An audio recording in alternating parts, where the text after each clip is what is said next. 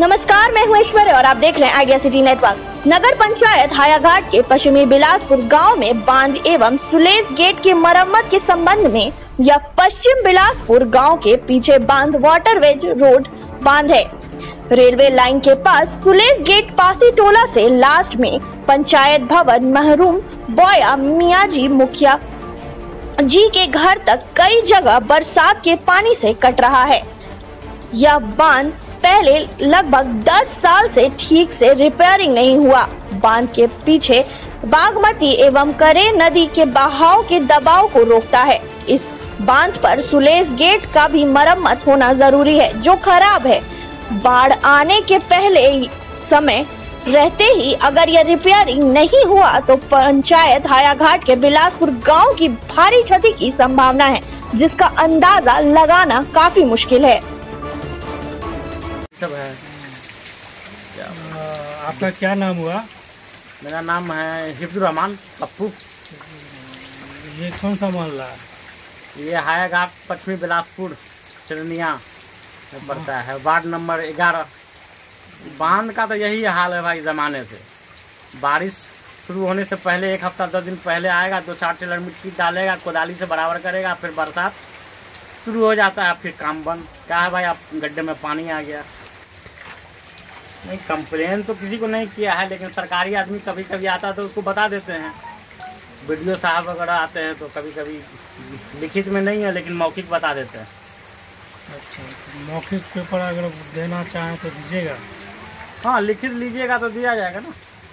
तो लिखित दीजिए। तो लिखित किसको दिया जाएगा? डीएम को? जो यहाँ अभी निगम का आदमी जिम्मेदार है निगम के इंजीनियर आए वो उनको दीजिए।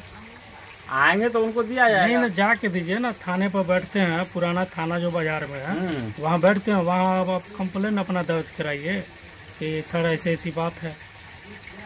बाँध का निगम वाले देखेंगे या बाँध का डिपार्टमेंट दूसरा देखेगा? आप देखो तो देखिए निगम के क्षेत्र में आप आते हैं देख दे, देखिए आगे क्या बात होती है वो वही ना बताएँगे। ठीक है आप हमको तो उम्मीद तो लग रहा है कि होगा। ठीक है आप कह रहे हैं तो जाकर के उनसे मिला जाएगा ऑफ़िस में।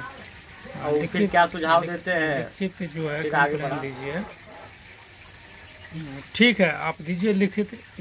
होगा कि नहीं होगा तो बाद में ना होगा वो बताएँगे ना कि कहाँ से होगा। हाँ हाँ। लेकिन ये तो मामला ये तो मेरा घर का है। घर के बगल में भी है ना जो दसियों साल से कट के गड्ढा हो गया। आप सब दिखाइए और लिखिए प्रॉब्लम। नहीं होने के बाद जो है सो या वो आश्वासन देंगे ना आपको कि कहाँ होगा नहीं होगा कैसे होगा काम होगा। अभी जा करके देखिए दूसरे बाँध पे फ्लड का टाइम है। फ्लड से पहले सब मिट्टी पड़ गया बाँध पे लेकिन यहाँ अभी दसियों साल से मिट्टी का काम मालूम होता है कि होगा होगा होता ही नहीं है। अच्छा अच्छा। ये मुख्य रास्ता है इस पर पेपर वर्क होता है क्या होता है नहीं होता है। कई साल पहले जो काम हुआ है उसके बाद आज तक काम ही नहीं हुआ ये जो स्टेशन से बाज़ार ये बाँध से जो स्टेशन जाते हैं। ये कितना वार्ड नंबर है ये? ये ग्यारह नंबर है। ग्यारह नंबर वार्ड। पश्चिमी बिलासपुर सिरनिया का ग्यारह नंबर वार्ड है। ग्यारह नंबर वार्ड है। यहाँ पे बरसात में कितनी तकलीफ़ होती है अब्दुल शकूर साहब यहाँ पे उतरने चढ़ने में। मेन रास्ता है पूरे गाँव का बाज़ार आने जाने में स्लिप करता है बारिश के टाइम में। कहा सीढ़ी कितनी बार कहा उनको कि बनाइए बनाइए। सीढ़ी नहीं बनाते हैं। किनको कहा सीढ़ी बनाने के लिए? अंजार जमाल साहब जो हैं, हमारे, उनको भी कहा, और भी आदमियों सबसे कहा, सब लोग कहते हैं कि नहीं नहीं, बना देंगे बना देंगे बाद में, जहाँ ज़रूरत नहीं है वहाँ बन रहा है। ठीक है, अभी जो जो वक्त, बात मतलब पीछे की है, वो अलग है। अभी आपके, आपका एरिया जो है, नगर पंचायत घोषित हो चुका है इसके ज़रिए अभी बाढ़ नियंत्रण और पानी जमाव को निकालने का काम, और नाला सफ़ाई का काम चल रहा है।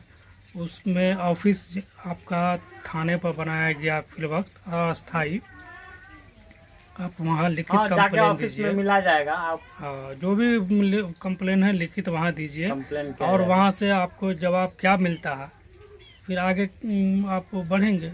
देखिए कोशिश रहेगा। यहाँ पानी तो बहुत खराब हालत है। अभी बारिश शुरू हो जाएगी ना तो देख लीजिए कि नया नगर है। हर लोगों के घर में एक कमर तीन फीट पानी जमा रहता है। ठीक है ठीक। ठीक है। सब लोग सोए रहते हैं। ठीक है नमस्कार। नमस्कार। Online admission is going on अपने बच्चों के नामांकन हेतु लॉग इन करें www.rpsbiharsarit.com बचपन इंडिया का फेवरेट प्ले स्कूल करवाए अपने बच्चों का फ्री नामांकन। पता डीडीसी आवास के पीछे Nalanda health club road, Etwari Bazar, Bihar Sharif, Nalanda. अधिक जानकारी के लिए विज़िट करें www